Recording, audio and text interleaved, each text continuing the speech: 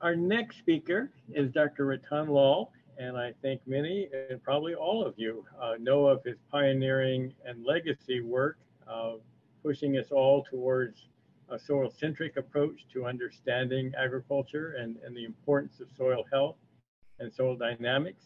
Uh, Dr. Lal uh, was the winner of the World Food Prize in 2020. And Rattan, we are so grateful that you were able to make time and join us. So I'm going to hand it over to you and uh, you can share your screen and, and take it from there. Thank you very much. Uh, please permit me to share the screen. Okay.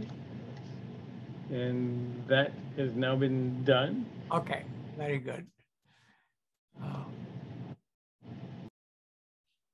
can you see anything yet? Yes. You have a screen view now of the slide? Yes. Yes. Thank you. Thank you very much for the great privilege and honor. To begin with, I want to congratulate uh, Dr. Cynthia Rosenzweig for the 2022 laureate, and uh, this is a very befitting webinar in her honor. Uh, it's a very uh, joyful moment for all of us. The Thank topic, you, Thank you, Cynthia. The topic that was assigned uh, to me, uh, climate and soil carbon sequestration. what are key questions? Uh, I'm going to try to address uh, 10 questions. But before I do that, I will give a little background, which everybody knows that uh, carbon dioxide concentration since 1750 has increased 150%, uh, methane to 62%, uh, nitrous oxide 123% and still increasing. Uh, and uh, this is uh, a reason for the CO2 concentration built up leading to climate change. For example, the total carbon stock in the atmosphere pre-agriculture are about 10,000 years ago, estimated at 360 gigaton. At the time of industrial revolution, circa 1750, primarily due to land use for agriculture, conversion of natural ecosystem to managed ecosystem, it increased by 200 gigaton to 560. At present, it is approximately 880s. Some estimates are lower but certainly gone up by another 300 and so plus gigaton, both due to fossil fuel combustion and climate uh, related agricultural changes by several gases, CO2, N2O, CH4. The total emission from land use and agriculture since the beginning of agriculture estimated 555 gigaton total emission from fossil fuels since 1750, about 445. That gives us a thousand gigaton, approximately, give and take, of which 52% has been retained in the atmosphere. If we look at the uh, total amount uh, of the 1750 to 2020 emission, 290 41.7% retained in the atmosphere, ocean uptake about 26%, and the land-based sink about 31%. I think that gives an impression uh, to anyone who look at the data that uh, land-based sinks do play a considerable role in absorbing anthropogenic emission, and that perhaps with some policy interventions. The word I heard, uh, climate smart agriculture, uh, apparently make agriculture a solution to the climate change. So there should be some focus on land basing, which means soil plus vegetation. Therefore, the critical mission uh, of the so-called climate smart agriculture, climate resilient agriculture, is making agriculture an important part of the solution. towards both adaptation and mitigation of climate change by promoting pro-farmer, pro-agriculture, pro-nature policies.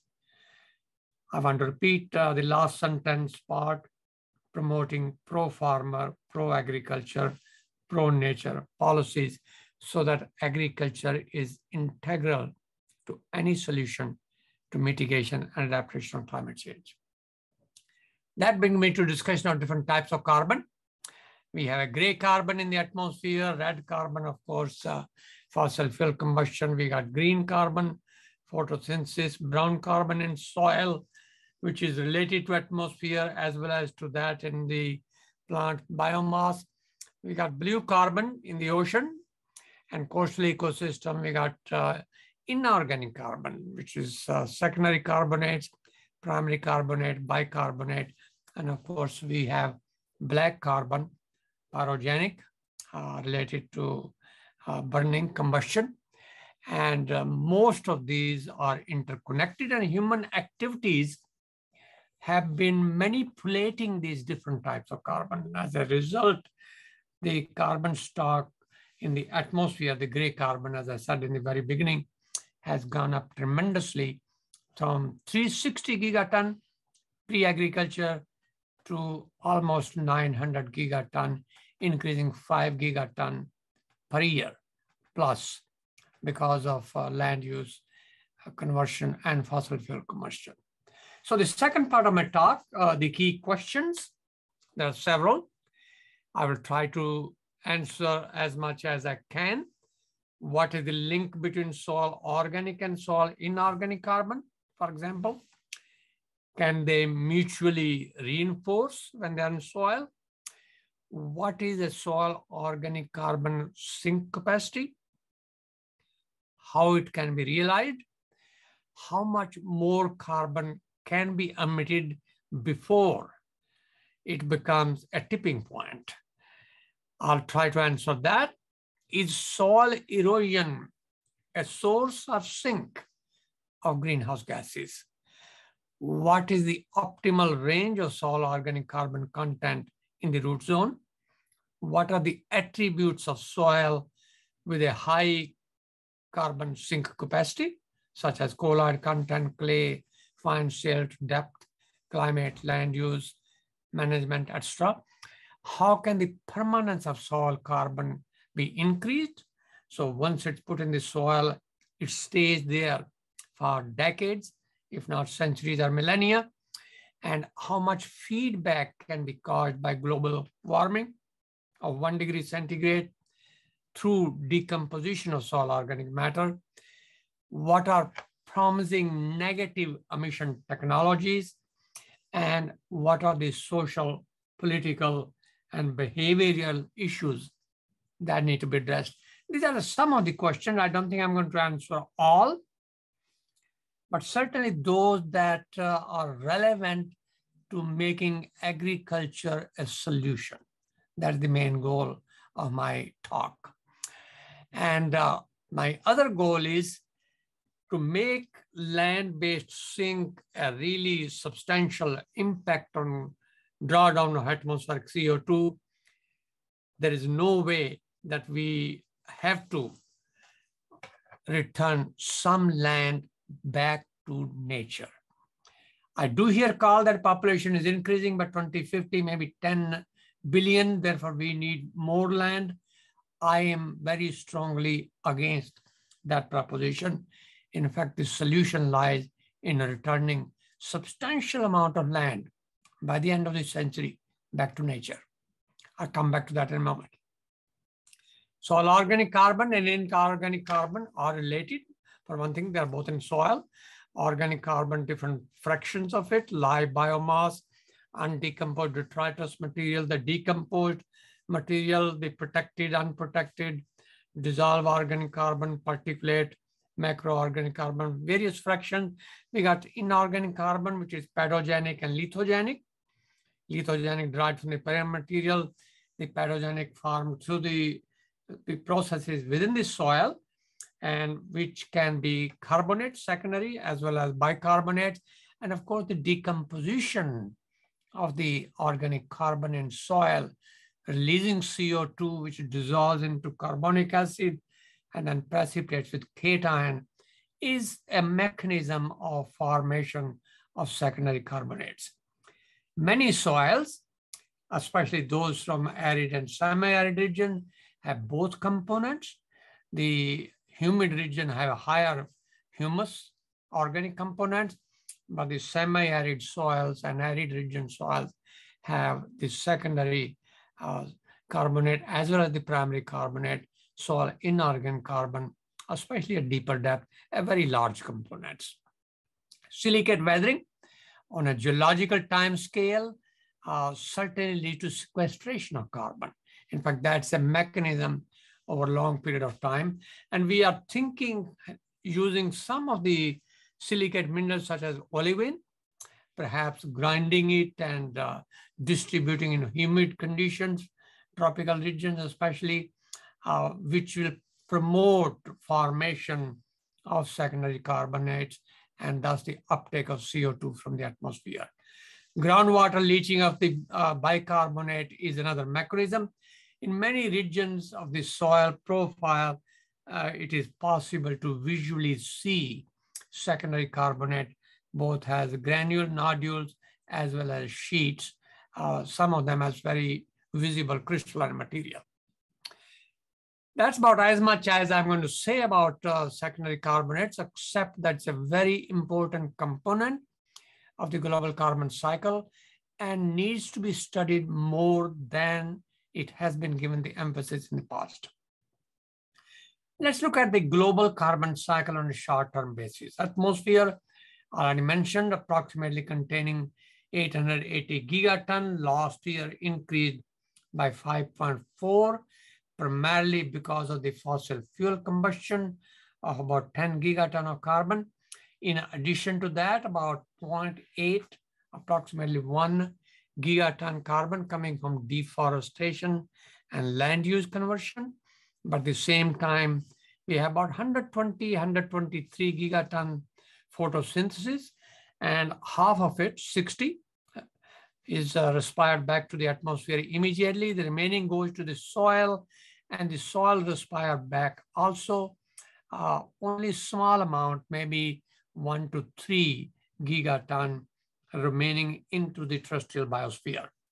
Accelerated soil erosion, I'll come back to that in a moment, in my estimate, uh, leads to emission of carbon. Uh, the hydric erosion about 1.1. Many uh, good uh, uh, geologists and uh, those sedimentologists have estimated that some of the eroded carbon is taken to the ocean where it is sequestered into the deep water, which is very likely the case. But the net effect of carbon displaced from soil by water and wind erosion could be a strong impact on emission of greenhouse gases. Not only CO2, but depending upon where the displaced carbon drops, uh, could be also methane and N2O as well. Not accounting the erosion moved carbon globally, what is its fate, not accounting for in the global carbon budget probably leads to erroneous estimates. So uh, on a global basis, ocean absorb about 2.6, uh, land-based sink about 3.3. We already talked about it. Atmosphere keeping about 4, 5.4. Uh, we can estimate this budget on a farm basis on a county basis, on a state basis, national basis, continental, global. Uh, it is understanding which is much needed so that we know what is anthropogenic impact on the global carbon cycle and how can we try to increase what is in the terrestrial biosphere. That's the land, soil, and vegetation. And hopefully we can decarbonize the atmosphere and recarbonize the terrestrial biosphere, which has lost almost 550 to 600 gigaton since the beginning of the agriculture. Human impact on the global carbon's tremendous, uh, 800 BC to 1750, approximately 320 gigaton, 1750 to 2020, another 235. Total loss on the terrestrial biosphere, about 560. Emission from soil alone, estimated somewhere between 100 and 135. And the fossil fuel emissions since 1750, 460. So the totals since 1750, 695. Total since beginning of agriculture, 1000. It's a very drastic impact, carbon footprint, the anthropogenic activity. One important part here is that this 555 gigaton that came from soil and trees can be, should be, must be part of it, maybe two thirds of it, put back over time. How much is the time? That's a decadal scale. Uh, maybe by the end of this century, maybe even later, but try we must to put it back. How much carbon can we emit more from the fossil fuel? before the global warming goes beyond 2 degrees centigrade? Well, we go back to the, the era of the uh, industrial revolution when the 280 parts per million, so many people think doubling that would already take us to the tipping point. So that's 560. The current level, May 1 statistics, 420 part per million in the atmosphere. So take the difference between the two and multiply by 2.13 gigaton, one part per million CO2 in the atmosphere, that gives you approximately 300 gigaton. So the carbon pie that humanity should consider very carefully how to divide amongst 8 billion people or 10 billion by 2050. How do you divide it? I think the Secretary General and other policymaker at global level should pay very much good attention to it. But more importantly, how not to burn even this much, how to find something other than that. Solar, geo, hydro, Uh, wind, whatever else you can find, which does not add carbon additional into the atmosphere. But at the same time, we create a land-based sink so we can create a drawdown. That's the philosophy. And that brings me to uh, one of the other question, what is the optimum soil organic matter content? There is no one number, there's a range. Range depends on climate, range depend on soil, they depend on land use. But in general, soil organic carbon, which is about 50% of soil organic matter, approximately, uh, about 2% one and a half to two percent is the optimum range, and the organic matter content would be about double of that. And crop responds in a depleted soil if the organic matter content is improved over a decadal scale, uh, would follow an example such as this with a maximum value reaching somewhere uh, between two to two and a half percent. Uh, and most agricultural soils, especially those of sub-Saharan Africa, South Asia, the Caribbean region, the depleted land of the small landholders who use extractive farming practices, is sometimes as low as uh, 0.5% of organic matter content, 0.25% of organic carbon organic carbon should be about one and a half to two organic matter, between two and a half to three and a half percent. Therefore, recarbonizing, restoring, improving organic matter content of the depleted, degraded soils should impact, not only have adaptation, mitigation of climate change, but also soil quality, productivity, use efficiency of input. The curve that goes up when you change from uh, regular practices to those which are carbon positive, which lead to positive carbon budget, is a sigmoid curve. And it begins with a flat, maybe sometime the rate might be constant for five years, maybe even longer, but certainly three to seven years. And this is sometimes an issue, how to motivate farmers during this stage. Should they be rewarded to make sure they get over this stagnating part when the response is not very much? And once it get to this S part where the slope is uh, more favorable to productivity, to use efficiency, uh, again, perhaps uh, the incentive may not be that critical, but continuing would be a good idea. Understanding the slope of that line. What is the rate of change of productivity per unit increase in carbon in the soil? I think that's a very important information and not very widely known. Uh, I have some data, but not as much as we would like to have. Therefore, the other part is uh, if we were to compensate farmers by whatever we call, I hope it's not called subsidy, but payment for ecosystem services, maybe carbon credits. Uh, how much is that? We'll come back to that in a moment. But that is the period where that would be needed and understanding that period, understanding the slope and the time horizon is very critical. By the way, from this point where it began to rise and to where it flattened out, it might be a generational scale, 20, 25 year, uh, sometime even longer. So let's look at a little more closely when we change natural ecosystem to agricultural ecosystem. Temperate climate, such as Midwest United States, the soil carbon stock is going to decrease for many reasons, and this has been very well studied. Uh, in a temperate climate, it may come down to 50% of the original stock in about 50 years. I have monitored this curve for the tropical climate also, Africa, and this may happen in five to 10 year in the tropics, maybe even quicker if the soils are highly erodible. Some of the soils I was studying were highly erodible, and the carbon stock from 3% organic carbon to about 0.2% could happen between five to 10 year period.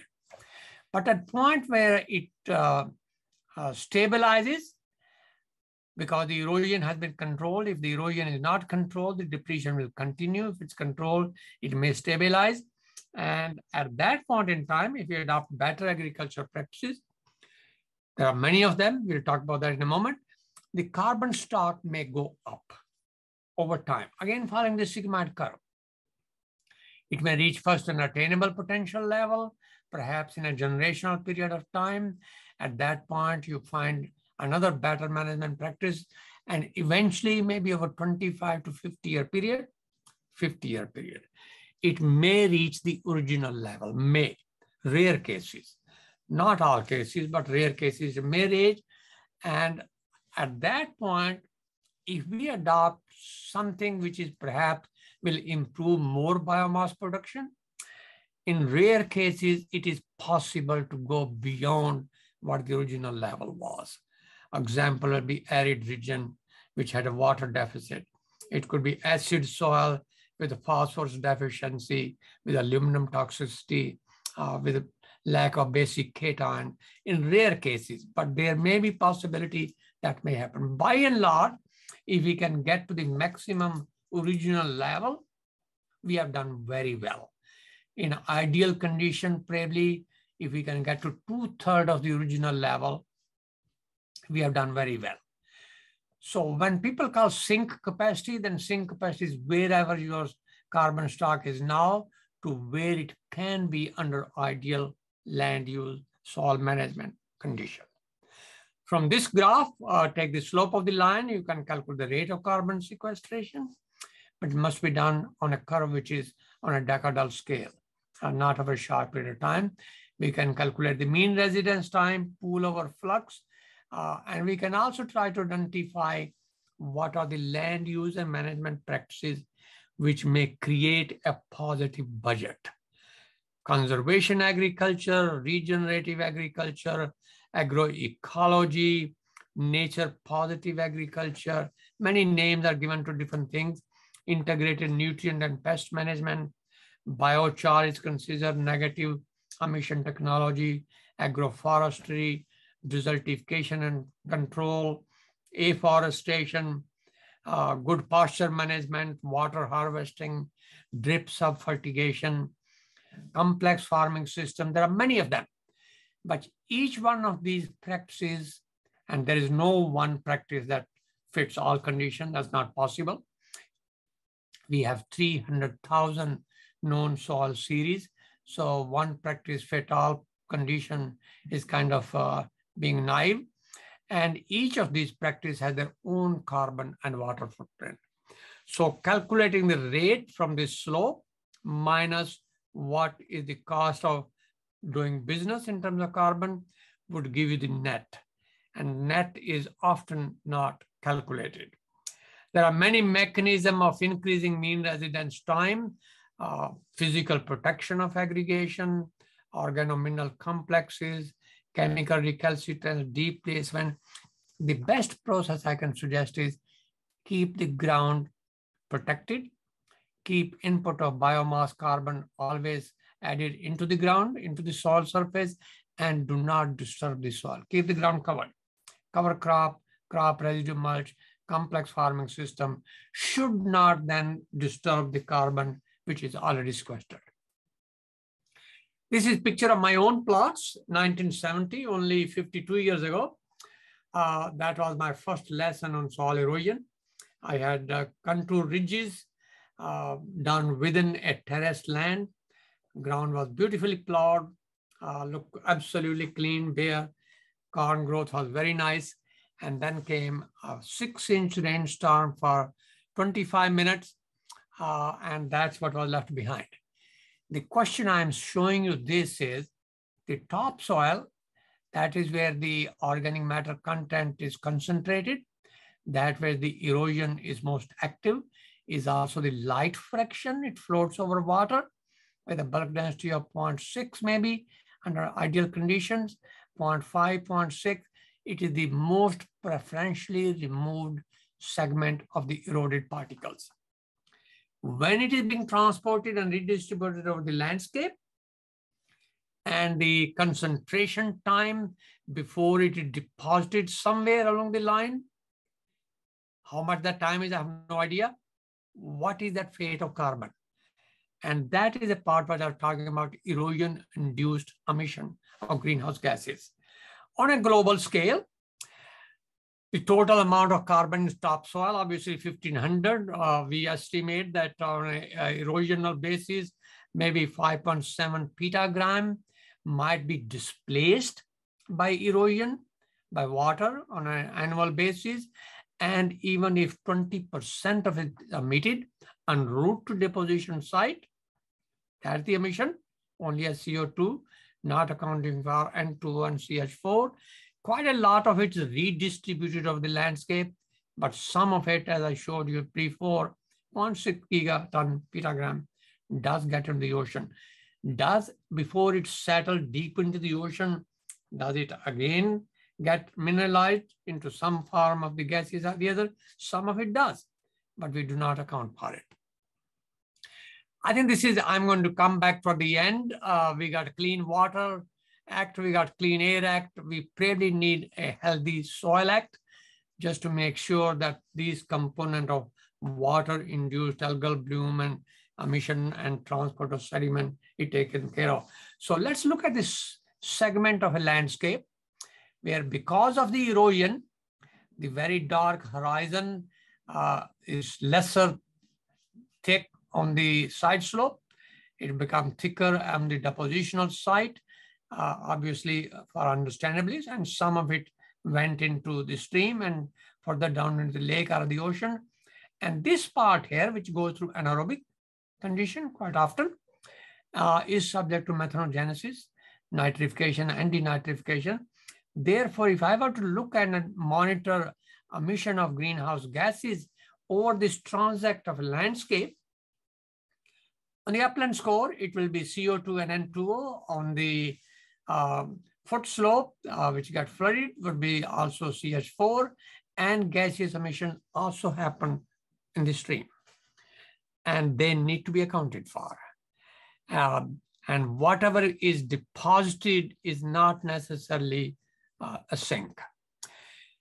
I want to mention something about dry lands, which cover 40 to 44% of the total land area. And this land area is increasing. It is estimated to be 50% really by the end of this century. And this global dry lands, 80% uh, of agricultural land area is rain-fed, which produce about 65 to 70% of the staple food. Water scarcity, already a problem, is going to probably aggravated with time. Uh, Cynthia probably knows more about through her modeling work. And the dry land, of course, are prone to climate change and uh, have their own issue of desertification. The UNCCD had just their meeting in Ivory Coast uh, last week, and a large proportion of population living there uh, have, have an earning income of less than $2 per day. Many people think that the uh, probably uh, afforestation of uh, desert is a good idea. Absolutely it is. But similar to, remember I was talking about those practices which sequester carbon, they have their own carbon footprint. Just imagine what the albedo is on a sand or a sand dune and what is albedo when it has trees and green cover. So this green part absorbing radiation is going to upset the, the climate of the region as well because of the reduction in albedo, and that need to be accounted for. Uh, it may be small, but certainly something that cannot be ignored. So it's called albedo effect of forest.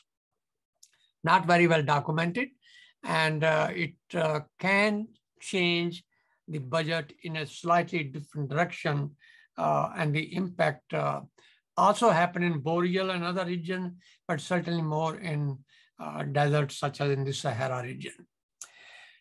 Now we come to negative emission farming, negative emission agriculture. Uh, the idea is to reducing carbon emission from farm operations, sequestering carbon in terrestrial ecosystems, which means soil, trees, wetlands, mine lands, and degraded lands. No-till, Again, this picture of my plot in uh, Africa. Immediately after that erosion slide, I showed you very next cycle crop I followed no-till. This was a 1971 picture.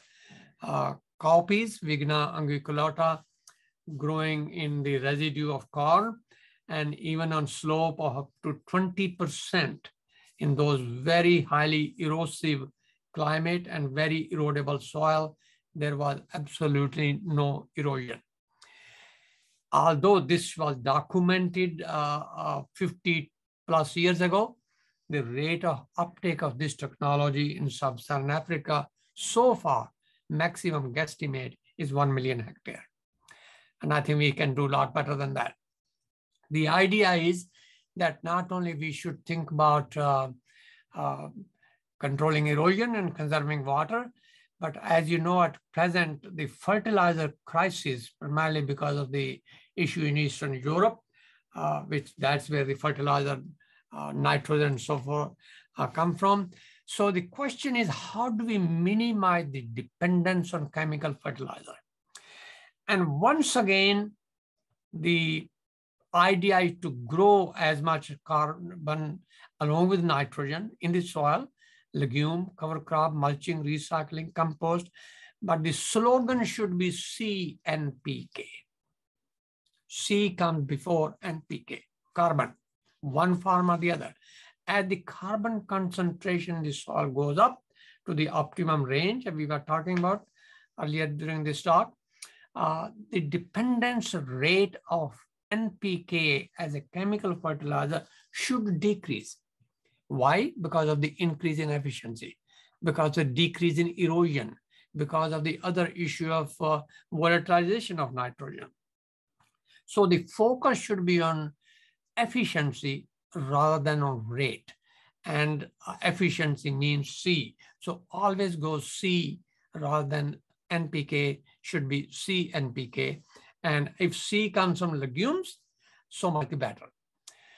The other part of tillage, uh, which I've just uh, said many good stories about it, uh, sometime if the measurements depth distribution of carbon is not done to, let's say 50 centimeter or one meter, but only limited to the top 20 centimeter, the carbon concentration in no-till may look like this. And in a plow till where the residue is plowed under at 20 centimeter depth, you will notice concentration in the no-till is higher in the surface part, but in a plow till is higher in the deeper layer. So measuring carbon stock to deeper depth, at least to 50 centimeter, preferably to meter, occasionally, not every year, maybe every three year, is advisable. What is a climate resilient or climate smart agriculture? Uh, here is an example. We had an experiment in Nigeria, and I'm going to show you example that is repeated in Coshocton, Ohio. We had no-till plots since about 70s, 1970 at Coshocton. In 2004, we started an experiment to take away the crop residue, remove the crop residue from the no-till. So everything is no-till, uh, no plowing, fertilizer applied as normal, the improved varieties, and then we had a drought. 2012 was a very, very drought in Midwest, and Josh Beniston was doing his thesis research. That's him standing there. And uh, uh, we had compared this plot where the residue was taken away for eight years compared with a plot exactly two meter away, but the residue was always kept in place.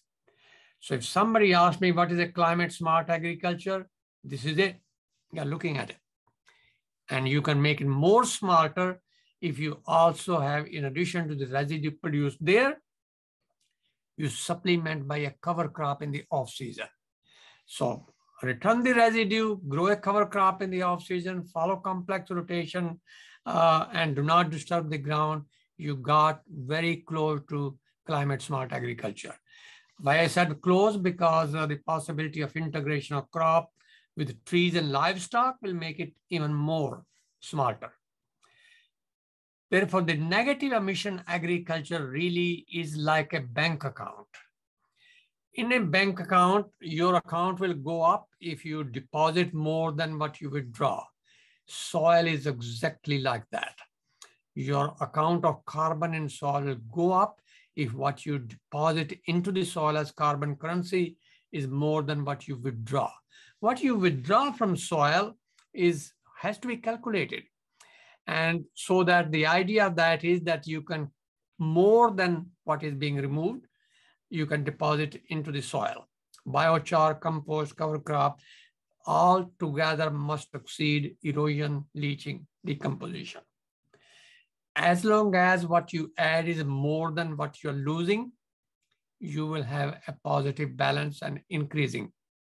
Unfortunately, most of the time, when people add some residue, maybe some root biomass, and they think it's enough, but it was not enough to compensate those losses, you create a negative budget. A negative budget, your soil bank account is continuously depleting. That is unfortunately the case with 500 million small landholder throughout the world because they depend on their crop residue for many other things.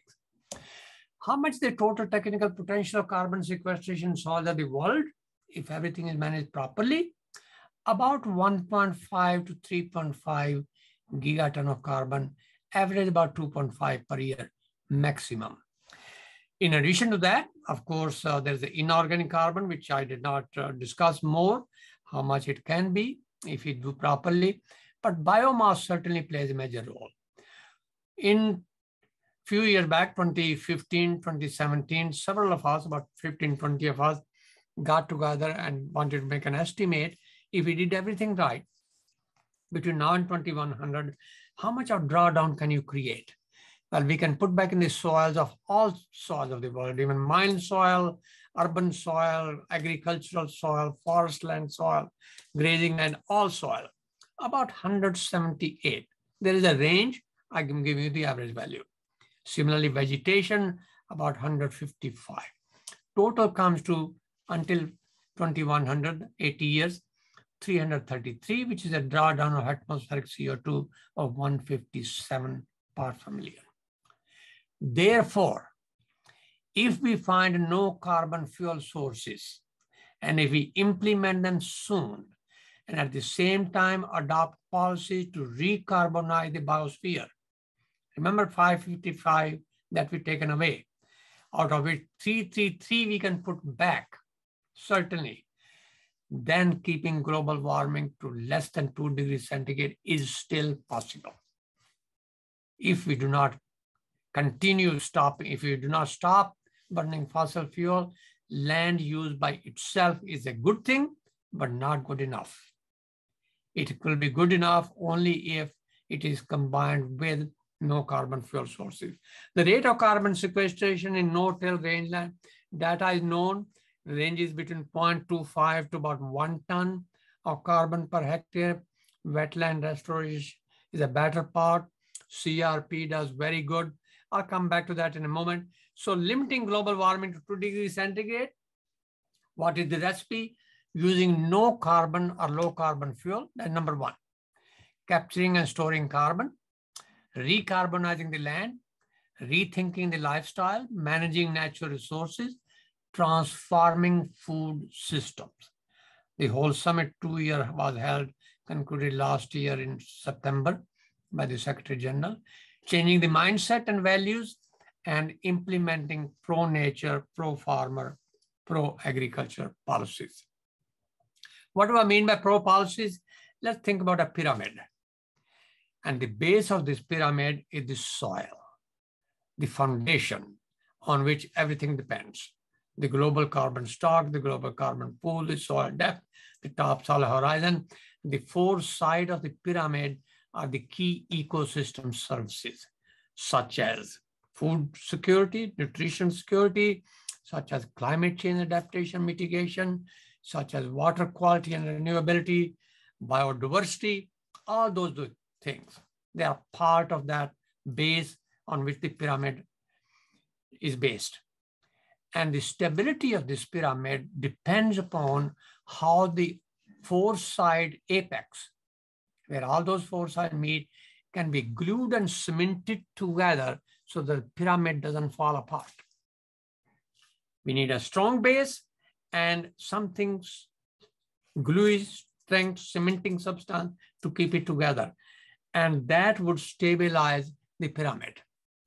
And that glue, that stability the policy issues, is the human dimension, is the behavioral change.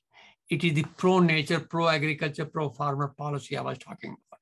Therefore, the importance of biophysical scientists working very closely with the socioeconomic and those people who make the policy issues.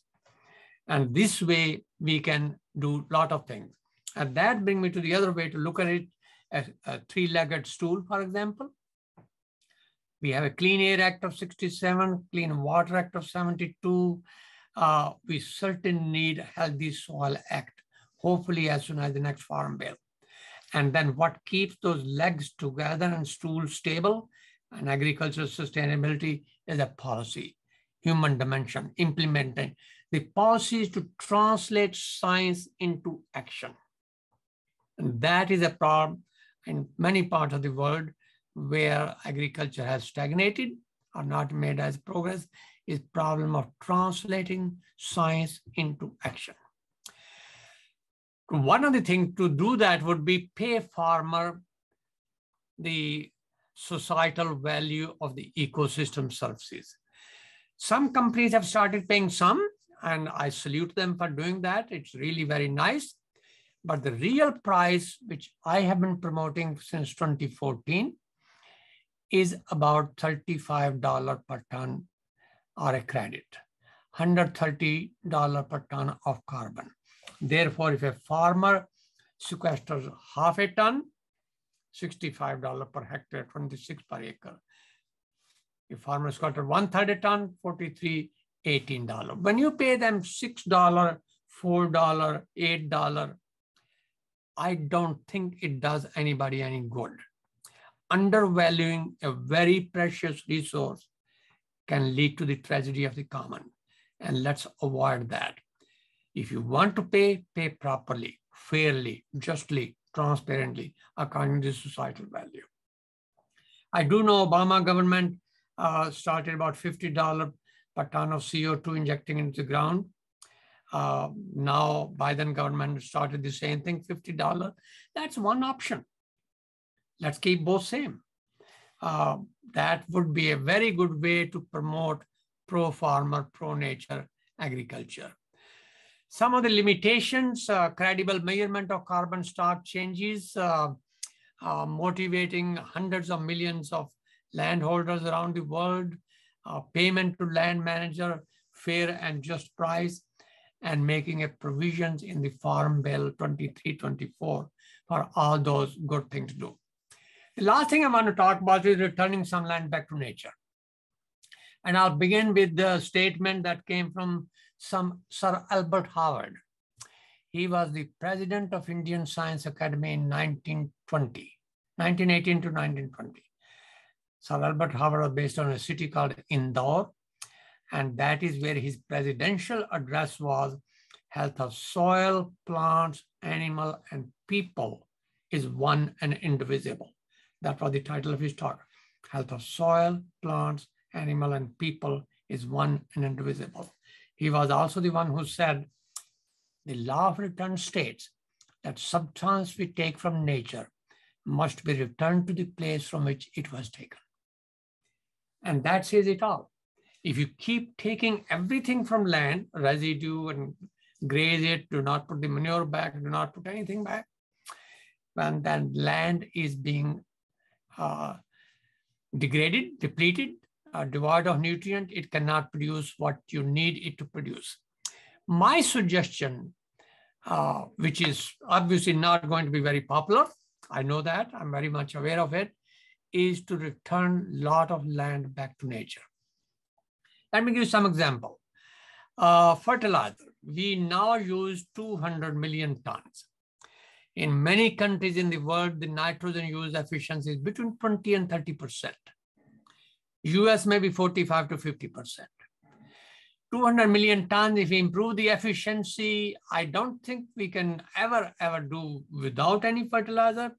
But let's try to reduce it to half by 2050 and maybe go as little as 50 or somewhere between 150 by 2100. Cropland, irrigated area, 350 million hectare right now.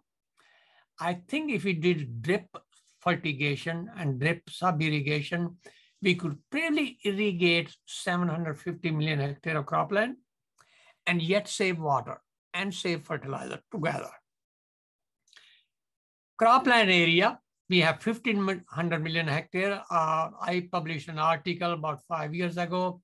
Bobby Stewart uh, wrote another article uh, whether I was saying reducing 100, 1500 to 750 and feed the world. He came back, yes, you can, uh, as long as we don't waste food. And that's a different topic. But I think 750 million hectare irrigated with drip fertigation should do us very well. What else? Rangeland, conservation agriculture. We have 200 million hectare out of 1500. I think all 750 million hectare of cropland should be under conservation agriculture. No plowing, crop residue mulch, do not remove it, cover cropping, complex rotation, integrating crop with trees and livestock. Grazing land, we got 3,700 million hectare. I know very well that some of that rangeland is only good for rangeland. It can't be good for anything else. I know that. Do we need 3,700 million hectare? I don't think so. If we can manage 1,500, the best of them, leave the rest back to nature, it will do some good to everything else. Now, the water use. We use 3,150 kilometer cubed, 70% for agriculture. If we did fertigation, no flood irrigation, no sprinkler irrigation, no furrow irrigation, saving water, feeding plant drip by drip, Daniel Hillel's method, I think we can get away with one third of water use. And we can return at the same time uh, quite a lot of water and land back to nature. By doing so, and by translating science into action, by filling the, the, the yield gap, by reducing waste of inputs and other things, we should be able to also, at least in sub-Saharan Africa, South Asia, Caribbean, double, triple, quadruple the yield and return half of the land back to nature. Going back to uh, the law of return, uh, the of Sir Albert Howard, by 2100, we must return half of the current land and agriculture back to nature, reduce the food waste, narrow the crop yield gap, eat healthy diet, eat healthy diet, and promote urban farming, which is a soil-less production system. And that way, we do not have to encroach upon nature. Thank you very much. And Cynthia, congratulations once again. And very thoughtful of you uh, to be present today and very uh, nice that we are having this in your honor. Thank Dr. you, Lal, Rattan, for thank this, you. what- for the wonderful presentation. Thank you. Thank you so much as well. Uh, just so much to unpack there, so many uh, deep lessons to, to think our way through. And thank you for uh, grounding us in that science of soil of biophysical processes and making that bridge to uh, watersheds and how the movement and nutrient loss as well as sediment loss can really impact what we're all trying to do in promoting carbon uh, smart uh, agricultural practices.